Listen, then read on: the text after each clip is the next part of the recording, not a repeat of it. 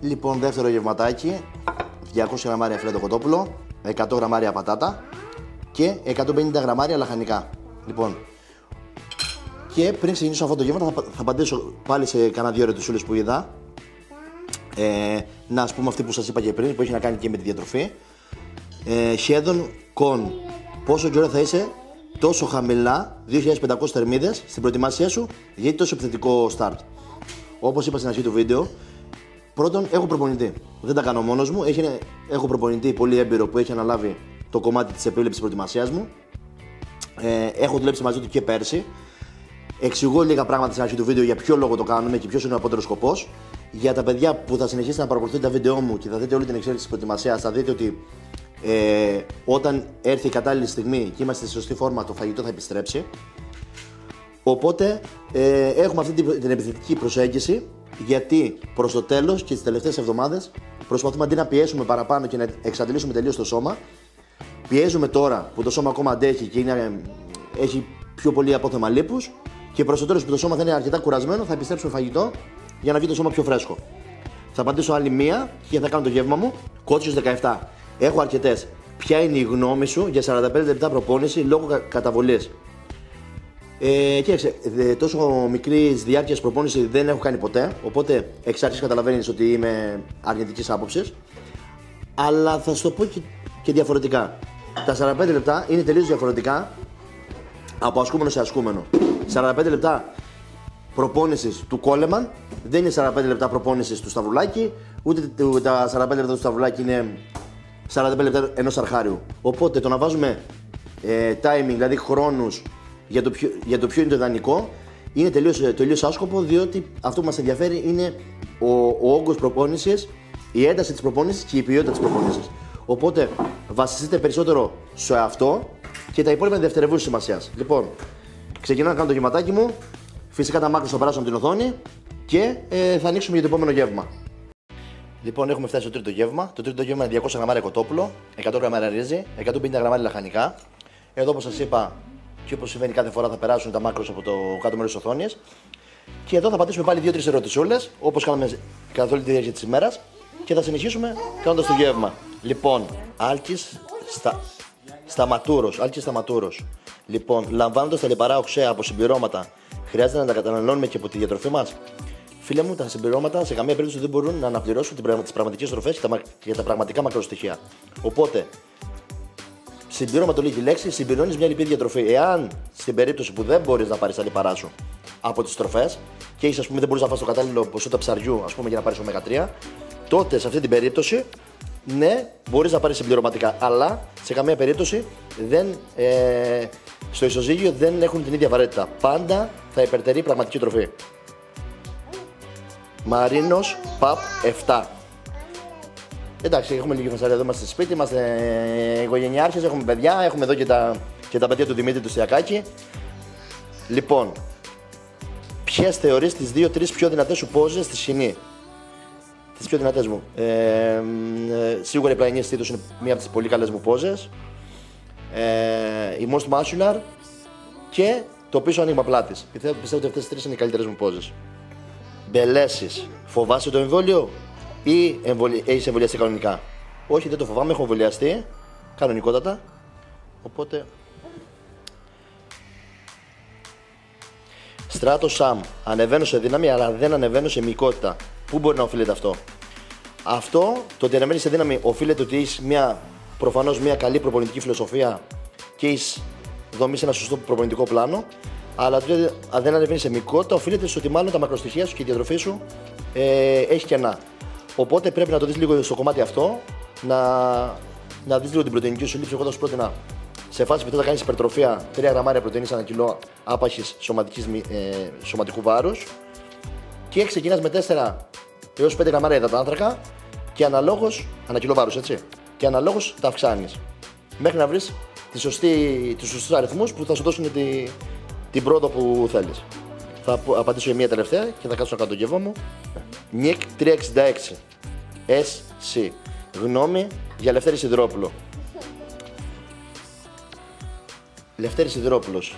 Λευτέρη Σιδηρόπουλος για μένα ίσως είναι ένα από τα 3-4 top καλούπια που έχουν υπάρξει στον ελληνικό χώρο. Για μένα ο Λευτέρης είναι επαγγελματίας. Επειδή τον, είχα δει, τον έχω δει να αγωνίζεται live οπό- και έχω δει και αρκετούς επαγγελματίες live, μπορώ να πω με βεβαιότητα ότι ο, ο Λευτέρης θα ήταν στη, στην καλή περίοδο της φόρμας του, από το 13 στο 15. Θεωρώ ότι ο Λευτέρης θα μπορούσε μέχρι και να κερδίσει επαγγελματικό αγώνα. Όχι απλά να πάρει κάρτα, θα μπορούσε να έχει κερδίσει και επαγγελματικά σοου που έχω δει, ας πούμε, κάποιους που κερδίζουν τώρα κάτι επαγγελματικούς αγώνες. Πιστεύω ότι ο Λευτέρης είχε όλα τα φόντα και λόγω συμμετρίας και λόγω γράμμωσης ε, να κάνει μεγάλα, μεγάλα πράγματα. Τον θεωρώ έναν από τους κορυφαίους όλων των εποχών. Λοιπόν, θα κλείσω τώρα και θα απαντήσω και, λι- και άλλες ερωτήσεις κατά τη διάρκεια της ημέρας όπως ε, είναι το concept του βίντεο σήμερα. Λοιπόν, κλείνω να κάνω αυτό το γεύμα και ξανανοίγω να, ανοίξω- να δείξουμε το, τε- το τέταρτο γεύμα μας. Λοιπόν, έχουμε γυρίσει στο σπίτι. Αυτό είναι. Κάναμε προμονή χεριών καταρχήν. Κάναμε λίγο χεριά. Αυτό είναι το, το post meal, το οποίο είναι 50 γραμμάρια δημητριακά. Εγώ βάζω τύπου τσίριος, να μην είναι πολύ υψηλά σε λιπαρά. Δηλαδή, κοιτάω να έχουν κάτω από 3 γραμμάρια λιπαρά, ένα 100 γραμμάρια. Και 2 σκουπ πρωτενη και 10 γραμμάρια γλουταμίνη. Αυτό είναι το, το, post, το post meal. Ε, αυτό είναι το post meal. Θα απαντήσω κάνα δύο ερωτησούλες, ε, ερωτησούλες πάλι, θα κάνω το γεύμα και θα ξαναξεκινήσουμε μετά πάλι να δείξουμε τα υπόλοιπα. Α, καταρχήν να σας πω την προπόνηση δεν θα σας δείξω σήμερα γιατί θα πάει πολύ το βίντεο, θα γίνει πολύ μεγάλο. Οπότε σήμερα θα δείξω μόνο γεύματα και το QA και προπονήσεις στο επόμενο βίντεο. Θα κάνουμε προπόνηση. Παναγιώτης Πιτσίν. Το bro split μπορεί να το κάνει ένας natural και να δει καλό αποτέλεσμα; Φίλε μου, φυσικά μπορεί να κάνει bro split. Ο Δημήτρης Ζιακάκη που είναι από τους καλύτερους natural στην Ελλάδα. Bro split κάνει. Ε, πέρα από την πλάκα, εννοείται, εννοείται πως μπορεί να κάνει ε, bro split. Κοιτάξτε, αυτό που λέω και άλλες φορές, όλα τα προγράμματα προπόνησης είναι αποδοτικά μέχρι να σταματήσουν να είναι. Το σημαντικό είναι να υπάρχει αλλαγή στο πρόγραμμα προπόνησης όταν δούμε ότι αρχίζουμε και πιάνουμε ένα πλατό ή δεν έχουμε πια το ίδιο ενδιαφέρον και δεν μας ελκύει η προπόνηση που κάνουμε, καλό είναι να την αλλάζουμε. Αυτό θα προκαλέσει, ε, αυτό θα προκαλέσει την εξέλιξη και να προσπαθούμε στο καινούριο πλάνο που θα έχουμε να προσπαθούμε να κάνουμε προοδευτικότητα. Όταν σταματούμε να έχουμε προοδευτικότητα στο πλάνο που κάνουμε, κάνουμε αλλαγή πλάνου. Είτε αυτό είναι bro split, είτε είναι push and pull ή οτιδήποτε άλλο. Οπότε, επειδή συχνά μου κάνει αυτή την ερώτηση, δεν αλλάζει κάτι στον αθλητή που είναι natural ή μη natural. Αλλάζει. Αυτό έχει να κάνει πιο πολύ την απο- στην αποκατάσταση και στο, στο, στην ένταση που μπορείς να βάλεις στην προπόνηση. Ένας φυσικός με ένα μη φυσικό. Αλλά το, ο τύπος προπόνησης δεν αλλάζει. Σάλτος Κρι. Δύο φορές την εβδομάδα την κάθε μυϊκή ομάδα. Καλά είναι ή μία. Αυτό που είπα και προηγουμένως. Εντάξει, για μένα, εάν κάνεις δύο φορές το κάθε σημείο, θα πρέπει να το κάνεις με μειωμένη ένταση. Δηλαδή, επί της ουσίας, να κάνεις δύο μικρές προπονήσεις για να μπορείς να είσαι σίγουρος ότι θα είσαι αποκατάσταση. Εγώ γενικώς δεν το πολύ εφαρμόζω αυτό. Δηλαδή, έχω να το εφαρμόσω πάρα πολύ καιρό να περάσω δύο φορές το κάθε σημείο.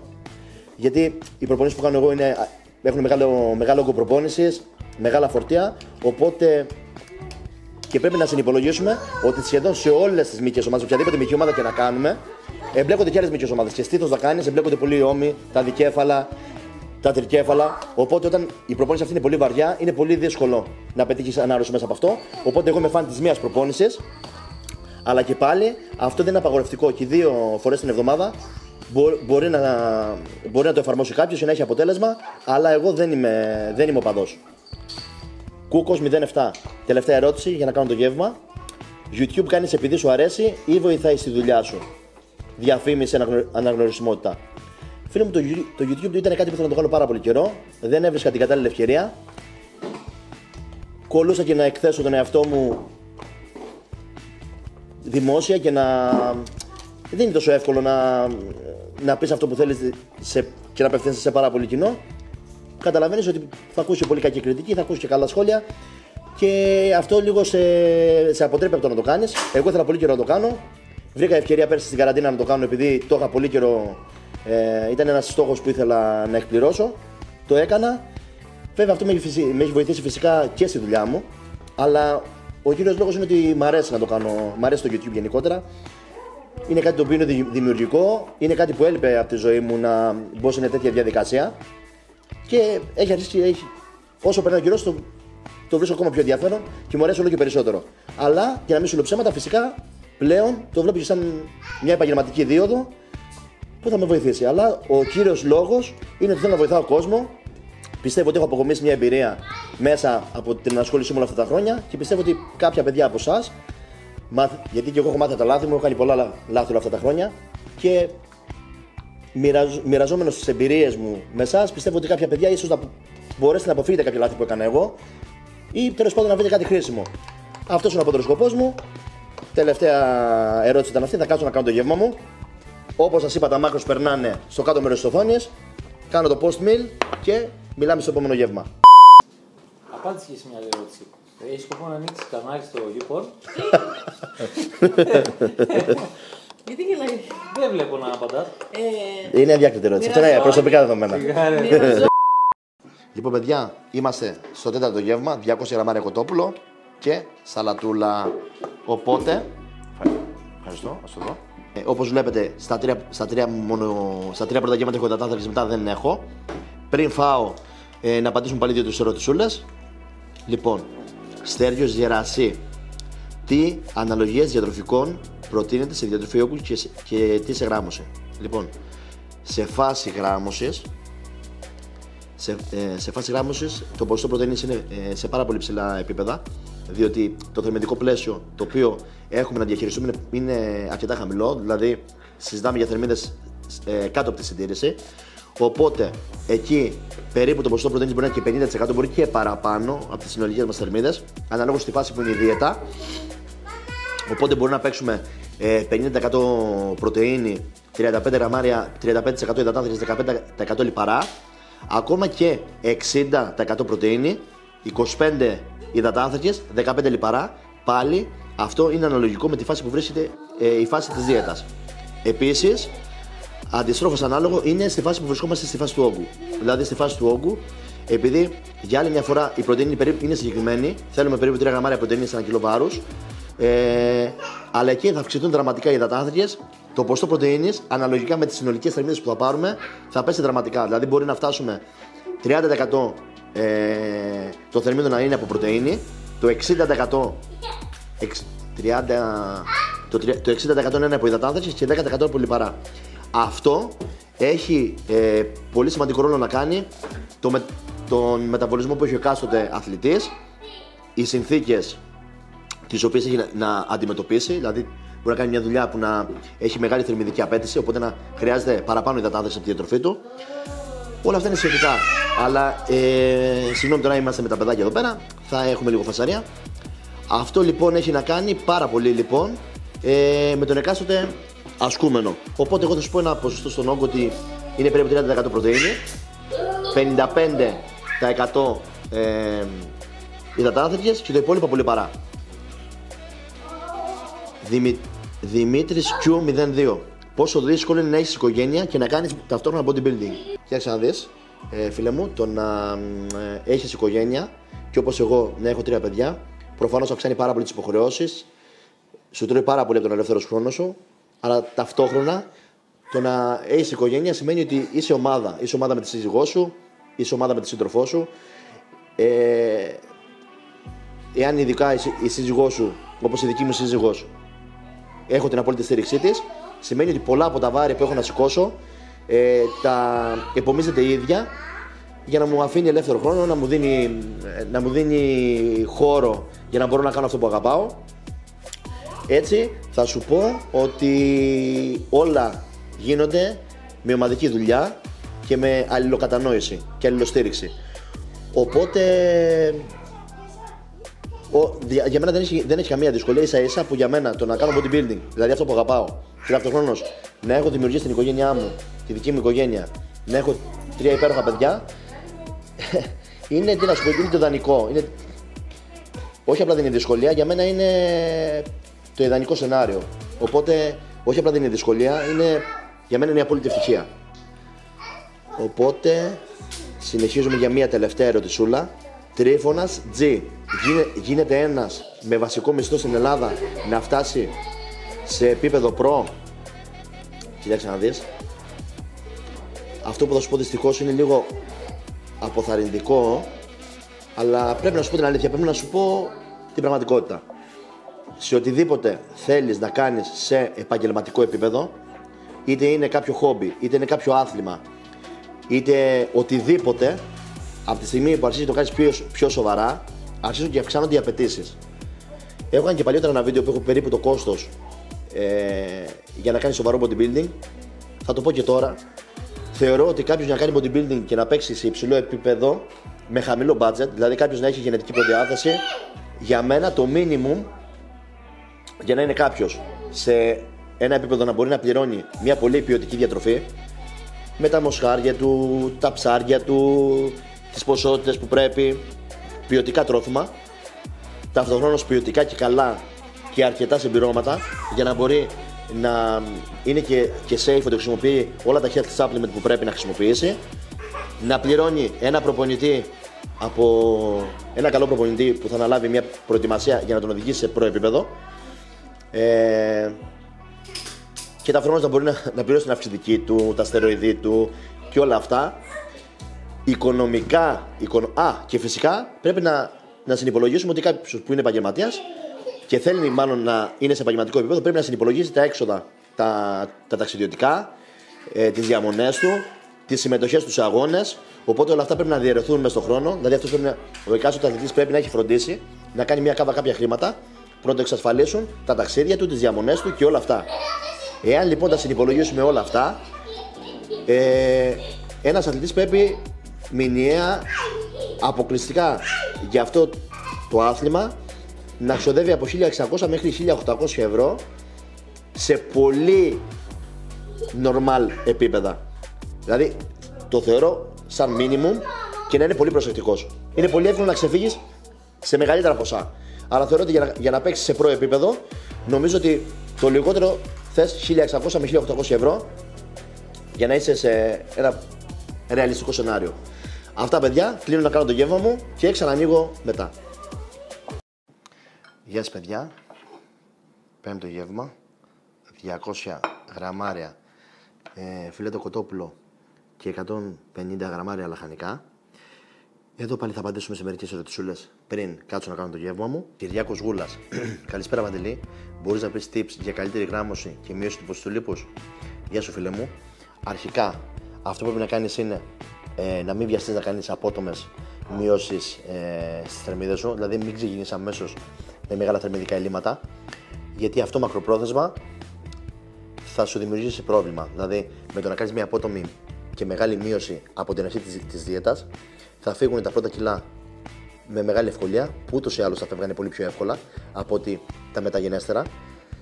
Και στην πορεία της δίαιτά σου θα αρχίσεις να δυσκολεύεσαι πολύ περισσότερο στο να χάσεις τα επιπλέον κιλά που θέλεις και εκεί ε, θα έχει στενέψει πολύ τα περιθώρια των θερμίδων που θα μπορείς να μειώσεις, οπότε θα έχεις πολύ, ένα πολύ μεγάλο θέμα. Δηλαδή, στην ουσία αυτό που θέλουμε είναι να ξεκινήσουμε να κάνουμε μικρές μειώσεις, ούτως ώστε ο μεταβολισμός να, να προσαρμόζεται σταδιακά στη μείωση θερμίδων ε, ούτως ώστε να μπορούμε να έχουμε μεγαλύτερη και πιο συχνή απώλεια καθ' όλη τη διάρκεια της προσπάθειας να έχουμε απώλεια. Το ζήτημα δεν είναι να χάσουμε τα πρώτα τρία κιλά, το ζήτημα είναι να φτάσουμε στον τελικό στόχο που είναι να, τα περισσότερα. Δηλαδή, αν κάποιος έχει ως σκοπό να χάσει 12 κιλά, πρέπει να τον αγχώνουν τα τελευταία τρία και όχι τα πρώτα τρία. Τα πρώτα τρία θα τα χάσει με πολύ, με πολύ μεγάλη ευκολία. Τα τελευταία τρία όμως, δηλαδή από τα 9 από τα μείον 9 να πάει στα μείον 12, αυτά θα είναι και τα πιο δύσκολα κιλά. Οπότε πρέπει να φροντίσει όταν φτάσει στο σημείο να θέλει να χάσει τα τελευταία τρία, να μπορεί να έχει δημιουργήσει τις συνθήκες το σώμα να είναι σύμμαχος.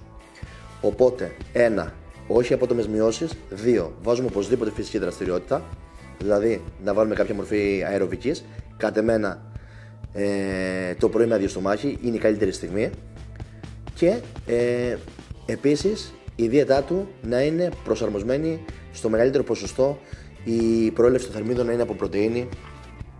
Γιατί η πρωτενη γενικότερα είναι πολύ δύσκολο να αποθηκευτεί για λίπος, έχει μεγάλη θερμιδική απέτηση στο να διασπαστεί σε αμινοξέα και γενικά ε, είναι πολύ πιο αποδοτική στο να βοηθήσει να χάσουμε λίπος και δημιουργεί το, και το αίσθημα του κορεσμού, δηλαδή νιώθεις πολύ πιο χορτάτος όταν τρως πρωτεΐνες.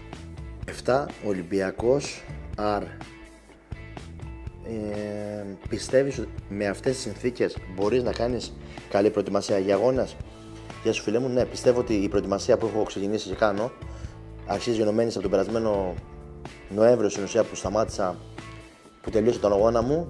Ξεκίνησα αμέσως να κάνω μια reverse δίαιτα και μετά ξεκίνησα να κάνω προσαρμογές και να κάνω, έκανα το off-season μου κτλ. Γενικά πιστεύω ότι έχω κάνει μια αρκετά καλή προετοιμασία. Σίγουρα την περίοδο που ήταν κλειστά τα γυμναστήρια είχα κάποιο χώρο να γυμνάζομαι, αλλά σίγουρα δεν ήταν το ίδιο με το να παίζω πιο ελεύθερα και στο, στο χώρο που έχω συνηθίσει να γυμνάζομαι και με τη βοήθεια από κάποιο παρτενέρ κτλ. Αλλά όπως έχω πει και άλλες φορές, ποτέ δεν υπάρχουν τέλειες συνθήκες σε μια προετοιμασία. Μπορεί να έχει ένα τραυματισμό, μπορεί να έχεις ε, μια περίοδο στην οποία μπορείς να είσαι πολύ στρεσαρισμένος για προσωπικούς λόγους. Χίλια δύο πράγματα μπορεί να συμβαίνουν. Ε, και εκεί είναι όλο το μυστικό στο να μπορείς να πετυχαίνεις τους στόχους σου. Δηλαδή, δεν περιμένεις τις τέλειες συνθήκες, αλλά προσπαθείς και προσαρμόζεσαι στις συνθήκες που έχεις. Και προσπαθείς να κάνεις το καλύτερο με τις συνθήκες που βρίσκονται μπροστά σου. Οπότε όλοι οι αθλητές αυτή την περίοδο προσαρμόστηκαν σε αυτές τις δύσκολες συνθήκες και προσπάθησαν να κάνουν το καλύτερο που μπορούν βάσει των συνθήκων. Ποτέ δεν θα υπάρχουν τέλειες συνθήκες για κανένα. Κανένας αθλητής ποτέ δεν έχει τις ιδανικές συνθήκες για κάτι. Γι' αυτό ε, οφείλει να είναι προετοιμασμένος να κάνει συνέχεια προσαρμογές και να ελίσσεται και να προσπαθεί να μένει κοντά στο στόχο του. Θα απαντήσω μια τελευταία ερώτηση. Frenzy mode. Τι, ο, τι ωφέλη έχει η reverse diet; Γεια σου φίλε μου.